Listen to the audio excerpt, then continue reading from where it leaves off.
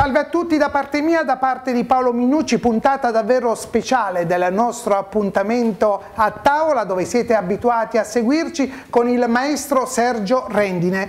Un'icona della musica, un grande personaggio del mondo dell'arte, oggi con noi per parlare di una sua grande esperienza di vita. Un'esperienza di vita che lo ha visto per anni a diretto contatto con Padre Pio, il santo di Pietrelcina che è ormai conosciuto in tutto il mondo e che noi adoriamo in tutti i sensi. Abbiamo la fortuna, l'onore di avere qui con noi, davanti a noi, le reliquie del santo di Pietrelcina che verremo di qui a poco a spiegare perché sono qui e perché le ha proprio il maestro Sergio Rendine. Intanto lo saluto cordialmente, lo vedo in forma, grazie, Grazie, per grazie, aver accettato il nostro invito. Ecco, il nostro regista Marco Corneli provvede ad inquadrare tutte le reliquie ci facciamo anche il segno della croce come giusto che sia maestro Sergio Rendine. Ecco intanto di cosa si tratta? Mentre noi continuiamo ad ammirarle in eh, grande considerazione con grande attenzione. Beh, Paolo, devo fare una premessa. Io ho avuto, una- tra le tante fortune della mia vita, questa forse la più grande, quella di aver passato nove anni a diretto contatto con San Pio da Pietrelcina.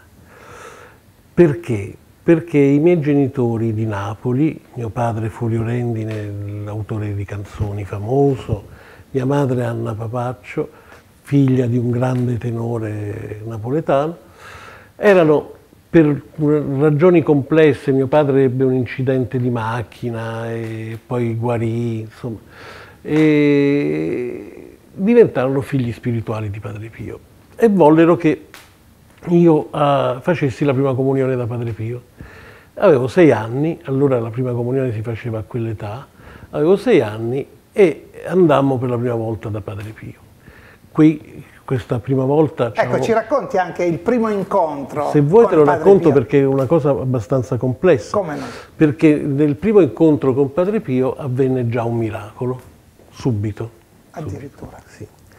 Allora te lo racconto. sì Arrivammo dopo un viaggio, allora mica c'erano le autostrade, si passava per Ariano Irpino, curve, co- mi ricordo che, che piccolino vomitai. Oh, a proposito, parentesi, io ricordo ogni istante di quello che ti sto raccontando come se l'avessi vissuto ieri sera.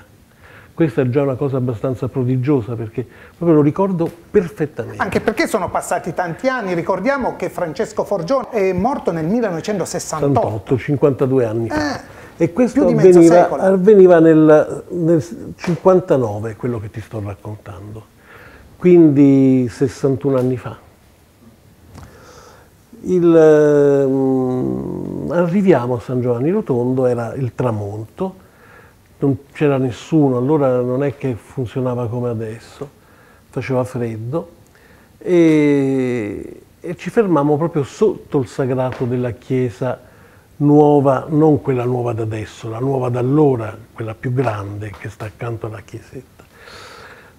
E mio padre disse cerchiamo un albergo eh, perché tanto qui domani se ne parla, ma in quel momento si accesero delle lucine, delle lucine intorno alla chiesa. Disse "Ah, allora stanno, stanno facendo le prove di una festa, i frati sono ancora svegli.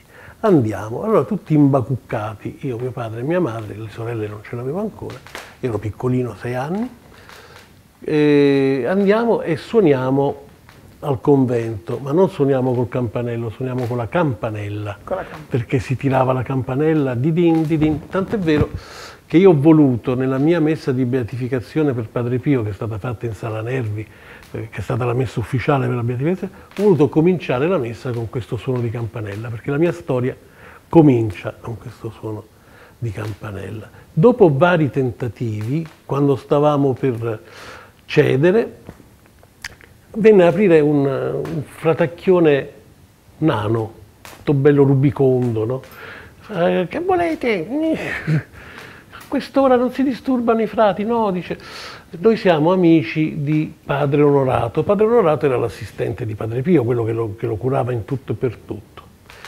E mh, siamo amici, veniamo da Napoli, volevamo salutare padre Onorato. Non si può, per favore, fa dita a padre Onorato.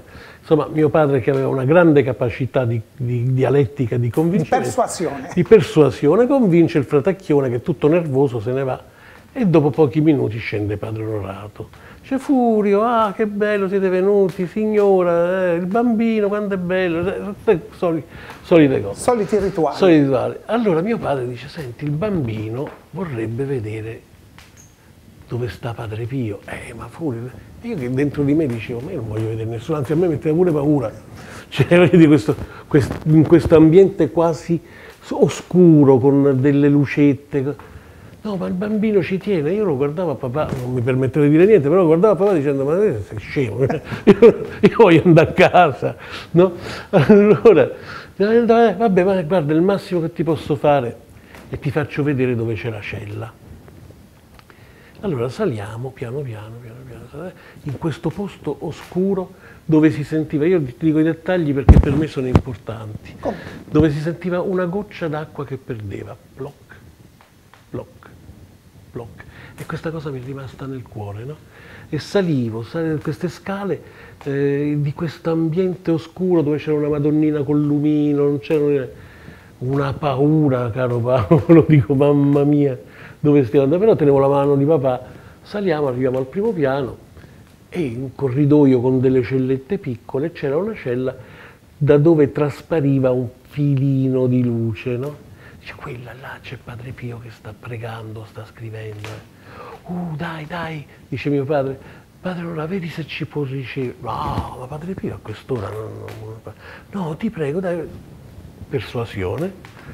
Padre Onorato entra, noi ci mettiamo vicino alla, alla porta e, e, io sento questa voce, proprio tutti l'abbiamo. Falle trasì trasit, trasit, che in napoletano vuol dire entrate. E allora io dentro di me dico, mannaggia la miseria, e entriamo e mi vedo per la prima volta Padre Pio, che aveva una sciarpa in testa ed era, ti dico, l'immagine era bianco più di una statua di marmo. La barba bianca, il, la pelle bianca e due occhi che ti arrivavano diritti dentro l'anima ti guardava così, con questi due occhi che erano due lance. Questa è stata la mia prima emozione. Allora ci avviciniamo, mio padre portava, era zoppo per l'incidente di macchina che aveva avuto, di cui avevo detto prima, e aveva una gamba più corta di 5 cm, aveva avuto una frattura da scoppio al femore in otto parti e il ginocchio anchilosato, quindi non la poteva piegare. Si avvicina col bastone e ti dico un dettaglio che ha importanza. Il bastone era di quelli antichi che avevano la testa di cane, sai, scolpita no? di avorio. Allora, eh, mio padre zoppo così, io attaccato ai pantaloni di mio padre, trasita, trasita. Ah, dice questo eh, padre, padre spirituale, perché Padre Pio tutti lo chiamavano padre spirituale. Padre spirituale questo è un mio amico che è venuto da Napoli con Piccerilla, col bambino, e la moglie è rimasta sotto, è la clausura ovviamente. La moglie è rimasta sotto e sono venuti a trovare, volevano salutare. Eh, mi guarda, mi mette la mano col guanto in testa e fa, è bello guaglione, bel ragazzo, o musica. Allora padre Onorato dice, no, è il papà che fa le canzoni. Lui mi riguarda, mi rimette la mano in testa e dice, Oh musica, oh musica. Predicendo... Cioè proprio mi, bam, in quel momento là è cominciata la mia tragedia, perché ho dovuto fare questo difficilissimo, soprattutto oggi che è impossibile, mestiere. E ho fatto il musicista. Vabbè, comunque questo è un dettaglio, la cosa più importante è che mio eh, padre Pio dice, padre siamo venuti per ringraziarvi del miracolo della mia vita perché io sono riuscito a... Padre Pio si infuria e fa, che tu devi ringraziare il Signore, non me, io chi sono? Io non sono nessuno, tu devi ringraziare Dio che ti ha salvato. Eh. Poi si placa di botto e fa, vabbè va, figlio mio, chissà quante hai sofferto, addenucchiate. scusate, parlo Come? nel suo linguaggio, Come spero no? che si capisca, a denocchiati, a inginocchiati, Certo. poi se non lo capiscono... Come no? Poi di- traduciamo. No, ma quelli di Milano poi a noi, a denocchio. Mio padre si inginocchia, io pure, ci fa la benedizione, ci mette le mani in testa, poi si alza e poi dice a mio padre, e che lei che la capa de cane, che era il bastone? Ci sembra il demonio. Iette che la capa di cane, butta quella testa Certo. di cane, iette che la capa di cane, ah per carità, brutto, brutto. Padre io cado, ah Geretto, iette che la capa di cane, perché lui ogni tanto aveva questo...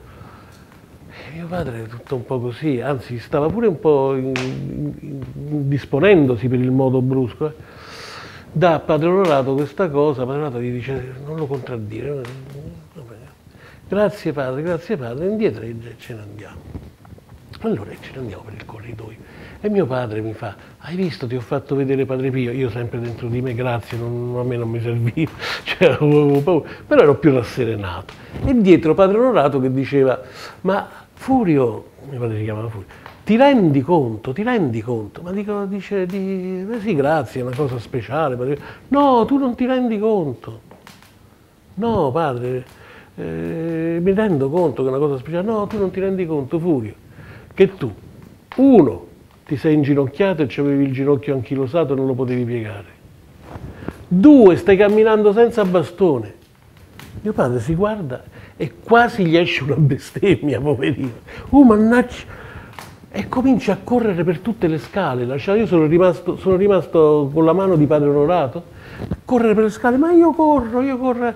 Quando mia madre l'ha visto uscire dalla porticina della clausura, è rimasta così e è scoppiata a piangere, si sono abbracciati, noi siamo arrivati là. E mio padre che faceva, guarda, guarda, salto, salto. Miracolo.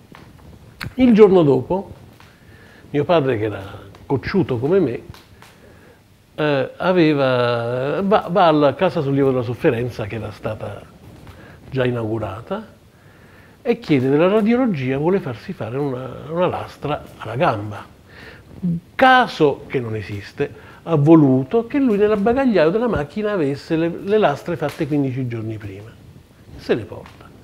Gli fanno la lastra, esce fuori la lastra, che allora mica era come adesso, l'ultima macchina cose grossissime, esce fuori la lastra e il femore era quello di un signore sano, senza neanche un, un segno di rimarginamento. La, la- la lastra precedente, dice, ma questo, diceva il radiologo, questa è un'altra persona, qua c'ha otto punti di, di callo osseo, no? Questo no, questo è un, un femore integro.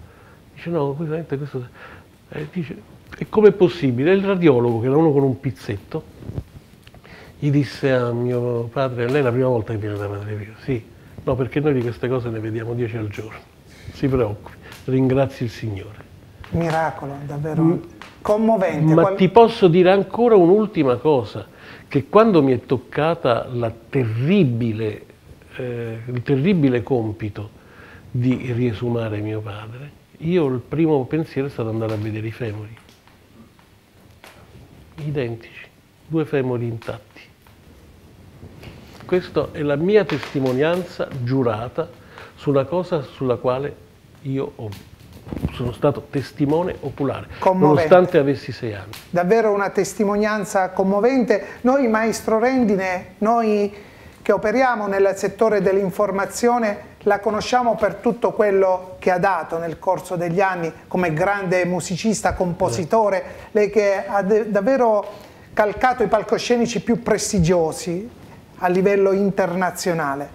Però dobbiamo anche sapere che lei è una persona fortunata perché l'incontro con Padre Pio non è stato l'unico che ha contraddistinto la sua vita. Ci No. risulta che lei ha frequentato e ha avuto contatti anche con altri santi. Sì, è vero? ho una, una fortuna nella vita veramente straordinaria, che eh, per esempio mi commissionò il Vaticano, commissionò vuol dire, attenzione, per il Vaticano vuol dire un incarico, perché il Vaticano non paga, quindi Certo. commissionò volontariamente, mi commissionò il- una cantata per il ventennale di Giovanni Paolo II Io feci questa cosa, l'ho fatta in sala nervi, mondovisione, andò tutto benissimo. Eh? E Sua Santità, San Giovanni Paolo II, mi invitò a pranzo. E io a mezzogiorno mi trovai a pranzo con Giovanni Paolo II, io, lui e il suo segretario. Papa Voitila. Papa Voitila. E fu, io ti, ti dico Paolo, se ti dicessi che ho parlato con Giovanni Paolo II ti direi una bugia perché ogni parola mi si stringeva la gola, mi trovavo di fronte a un personaggio altrettanto carismatico come Padre Pio. E lui è stato cordialissimo, mi ha raccontato anche una barzelletta che un Papa non avrebbe dovuto raccontare. E quindi siamo stati fantasticamente, ho avuto questa grande grazia di essere benedetto, di stare a pranzo con Giovanni Paolo II. Eh, poi ho conosciuto la Beata Madre Speranza, sulla quale, eh, quella di Colle Valenza, no? eh, dove, dove, la mia famiglia andava spesso e, lui, e lei mi diceva sempre Piccirillo fa bravo, Piccirillo fa bravo, anzi lei, diceva, lei faceva Picciddo, non so perché una strana, una strana lingua, fa, fa il bravo, fa il bravo, eh, Picciddo mi diceva. Poi ho conosciuto, per chi conosce, il venerabile Dondolindo Ruotolo, che adesso sarà fatto beato, che era un sacerdote di Napoli e che scriveva sotto dettatura divina sulle immaginette, ho parecchie immaginette scritte da lui dedicate a me. Poi ho conosciuto mm, Padre Pio delle Piane, un altro venerabile che era un un, un, sacerdote di San Francesco di Paola, che adesso anche lui è per eh, la beatificazione. Poi ho conosciuto Fra Daniele Natale. Fra Daniele Natale eh, c'è una grande devozione intorno, anzi Fra Daniele Natale ci ho dormito a casa, eravamo amichetti.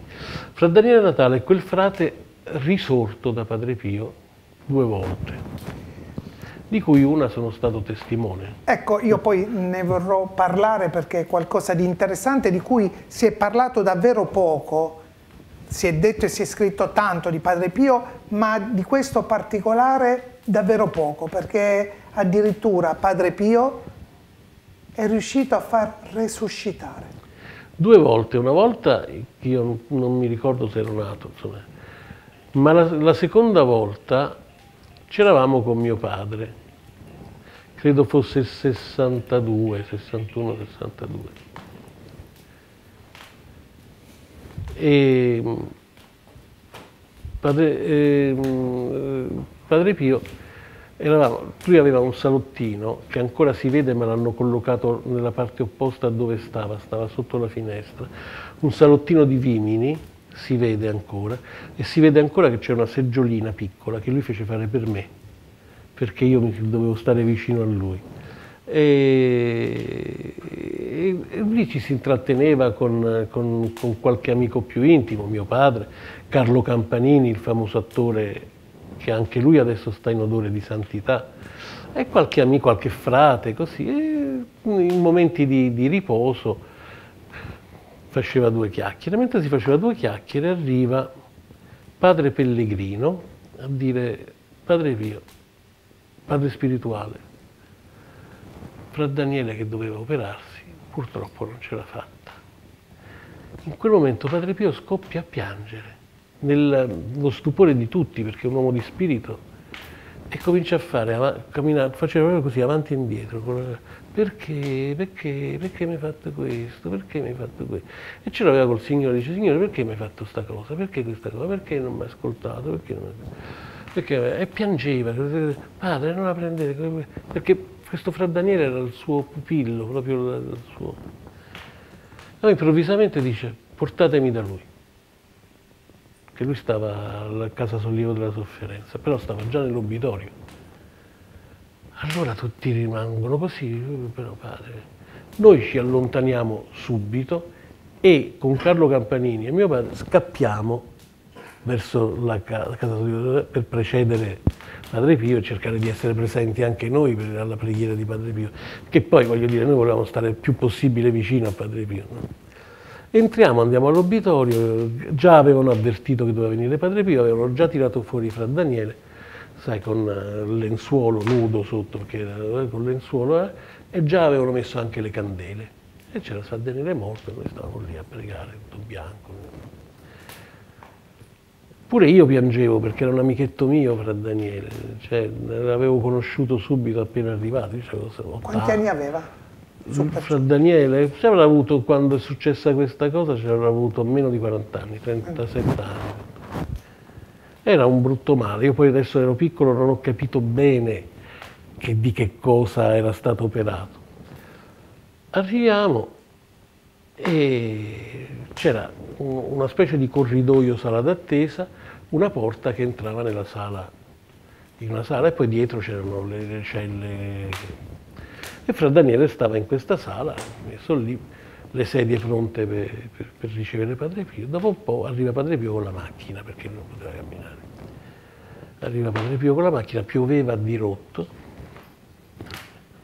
col cappuccio, eh, dentro sotto braccio, e lo fanno accomodare. Noi stavamo lì, ci alziamo, eh, e Padre Pio si mette là col, con l'inginocchiatoio e si rimette a fare perché, perché, perché, perché, perché, perché. E noi tutti a piangere, cioè era una scena straziante. Era la mamma che vedeva il figlio morto, il padre che sta... cioè era una cosa straziante.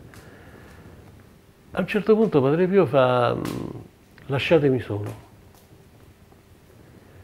E noi eh, e ci eh, ritiriamo fuori a, questa, questo corridoio sala d'attesa c'era il padre Onorato che gli era rimasto vicino. No, Onorato, vai pure, Onorato, vattene, vattene pure tu. E, e chiude la porta. Passano due, tre minuti, quattro minuti e stavamo lì in preghiera così. Ma è mio padre che dice a padre, ma che sta succedendo? No, il padre si vuole raccogliere nelle preghiere sue, delle volte vuole stare solo. Aspettiamo Padre Onorato aspettava una voce per andarlo a prendere, no? E invece sì, vediamo la maniglia che si apre. Padre Pio in piedi si era alzato da solo, con Fra Daniele col lenzuolo, lui con la mano sulla spalla, lui, Fra Daniele vivo in piedi. Eh, hai visto, Signore, mi ha fatta grazia. I frati buttati per terra, mio padre mezzo svenuto, io piccolino con la bocca aperta così, e fratello, eh, chiamate un medico, portate a Daniele, fatelo vestire, che questo sta buono, ma che eh, sti medici, sti medici, andiamo, andiamo, andiamo. E noi siamo rimasti così, poi l'hanno portato dentro. L'ha risuscitato. Io poi per Daniele l'ho rifrequentato per altri certo. vent'anni. Ma ricordo male o la stampa non si occupò di questo fatto eclatante? La stampa, la prima volta fece, che, che era successa questa cosa, fece qualche cenno. La seconda volta tacque completamente. Non so se per volontà del convento o se... Fu tenuta celata la notizia. O per volontà del Vaticano, per, non lo so perché. Però ormai Padre Pio faceva notizia anche se muoveva magari una pietra, quindi un fatto del genere avrebbe fatto il giro del mondo. Noi, noi non fummo autorizzati a parlarne, nessuno fu autorizzato a parlarne, quindi non so poi. Testimoni eravamo io, Carlo Campanini, eh, mio padre, io, Carlo Campanini e mio padre non, non sono più vivi, eh, però c'erano padre Onorato che non è vivo, padre Pellegrino che non lo so se è vivo e padre Eusebio che mi risulta sia vivo. Quindi... Mi vengono i brividi sulla schiena, maestro Sergio Rendine, Sapessi, ma non so per questa a me storia... Che, sapessi a me che c'ero. Mamma mia, mamma mia. Ma anche nel vedere queste reliquie che ho sotto gli occhi, ecco, perché non, non le facciamo conoscere meglio? Intanto diciamo un po' la storia di queste sì. reliquie. Quando Padre Pio morì, noi eravamo a San Giovanni Rotondo perché c'era la festa per il cinquantesimo delle sue stimmate. Pochi minuti prima che morisse, arriva una telefonata in albergo dove stavamo io e mio padre. Eh, padre Pio sta morendo, Furio, corri così lo vedi. E ci vestimmo di eh, mio padre in lacrime eh, e corremmo di notte, erano le due di notte, corremmo al convento. Ci aprirono perché stavano tutti attenti, non c'era nessuno. Salimmo sopra e c'erano tutti i frati fuori e mio padre entrò nella cella. Io no, io rimasi fuori con i frati amici.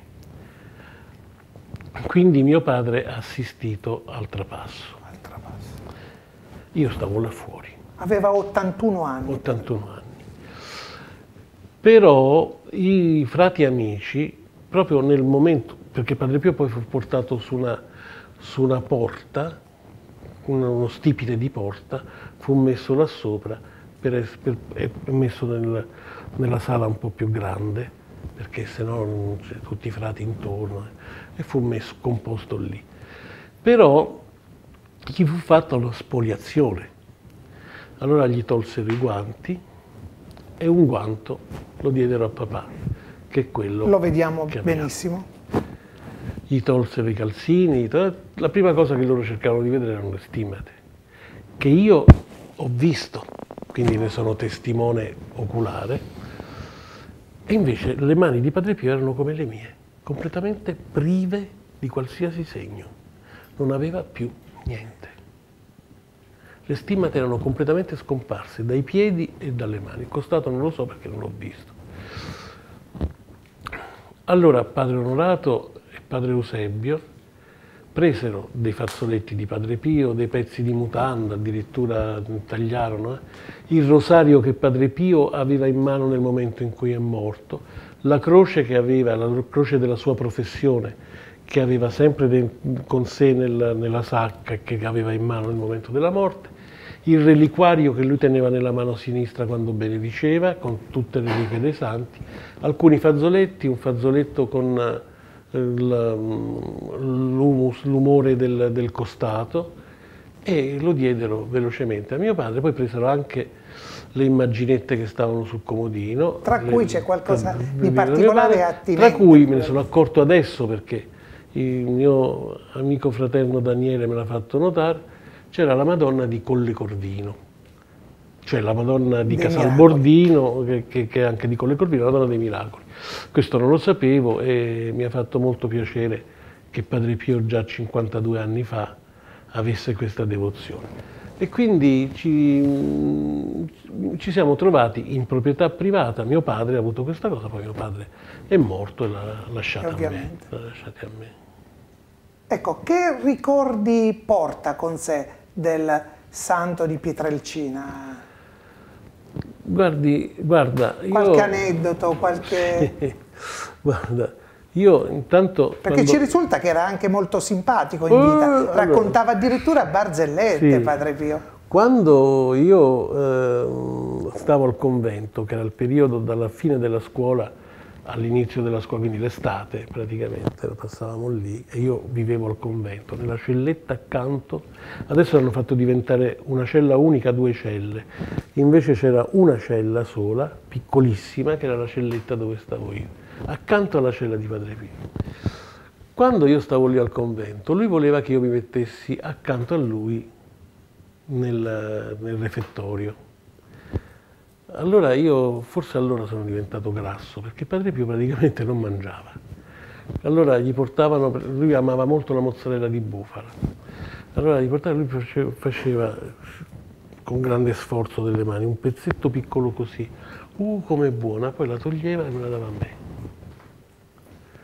Il creme caramel era una cosa che gli piaceva tanto, con la punta del, del cucchiaino, uh com'è buono, e lo dava a me.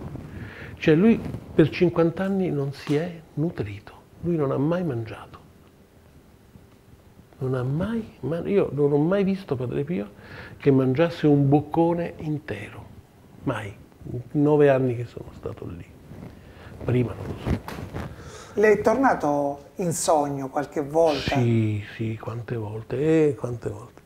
E dicevo, la, la sua caratteristica era che eh, Beh, lui pregava sempre, quindi c'era poco spazio all'ilarità, era sempre in collegamento con la passione di Gesù e con i santi, soprattutto la Madonna.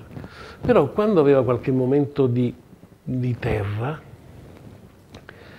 questo è un episodio noto a cui sono stato presente sì. io, poteva anche essere spiritoso. Questo episodio noto è questo, che vennero a dire che una giornalista di epoca, adesso non mi ricordo se fosse allora Margherita Hack, qualcuno di queste, eh, una giornalista di epoca eh, aveva scritto che lui era un isterico e si era fatto uscire le stimmate con la forza del pensiero, pensando forte forte alla passione di Gesù. Ne hanno dette di tutti i colori, va bene. E glielo dissero, padre, padre Pellegrino che si occupava della parte esterna, disse padre, eh, hanno scritto questa cosa. Noi pensavamo che padre Pio diceva, come, come aveva sempre fatto da altre cose. Gli disse, no padre Pellegrino, piglia carta e penna e rispondiamogli. infatti non era vero, disse scrivigli, cara signora, pensa forte forte di essere un bove, vedi se ti spuntano le corna. simpaticissimo, simpaticissimo. Comunque purtroppo il tempo è tiranno, facciamo così, diamoci magari appuntamento tra qualche giorno per continuare questa bella avventura, per conoscere ancora meglio Padre Pio, un personaggio che continua ad affascinare il mondo intero. Per il momento grazie al maestro Sergio grazie Rendine, grazie per averci dato questa opportunità di ammirare le reliquie di Padre Pio, ne cosa, siamo onorati. Cosa che non faccio mai, lo sai. Grazie, grazie ancora. Salutiamo e ringraziamo grazie. il maestro Sergio Rendine e ringraziamo tutti coloro che sono stati in nostra compagnia ad iniziare dal presidente della provincia Antonio Zaffiri e naturalmente voi per averci scelto da casa l'appuntamento con il nostro programma. Speriamo che possa essere interessante come questa, come questa puntata, sarà rimandato alla prossima edizione. Ciao a tutti!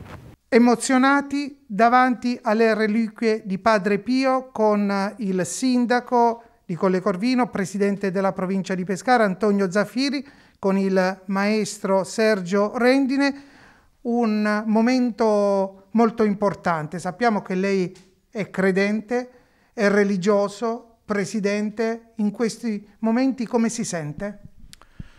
Beh, eh, l'emozione è tanta, eh, tantissima e mm, sinceramente mm, ho poche parole.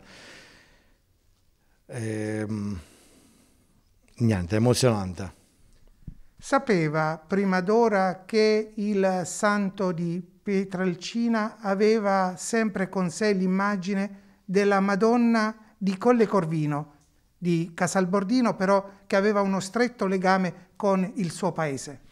No, questo non lo sapevo, eh, infatti quello che mi ha colpito ancora maggiormente vedendo questa immaginetta della Madonna di Casalbordino, che poi la Madonna dei Miracoli anche che a Colle Corvino, è la stessa, eh, ancora di più, eh, quindi è un'emozione particolare perché a Colle Corvino siamo tutti devoti alla Madonna dei Miracoli, eh, quindi questo ci rende ancora più eh, emozionati. Una bella giornata impreziosita anche dalla conoscenza del maestro Sergio Rendine, un'icona in campo musicale, una persona che ha vergato dei momenti indelebili nella storia della musica italiana. Sì, ho avuto oggi l'onore di conoscerlo, eh, avevo sentito parlare del maestro Rendine ma non avevo mai avuto il piacere e l'onore di conoscerlo. Oggi l'ho conosciuto, eh, è un personaggio Ehm, da conoscere ed oggi è stato ancora più emozionante perché vedere queste reliquie eh, conoscendo il maestro Rendine mi ha fatto tanto piacere. È un onore averlo nostra, nella nostra provincia.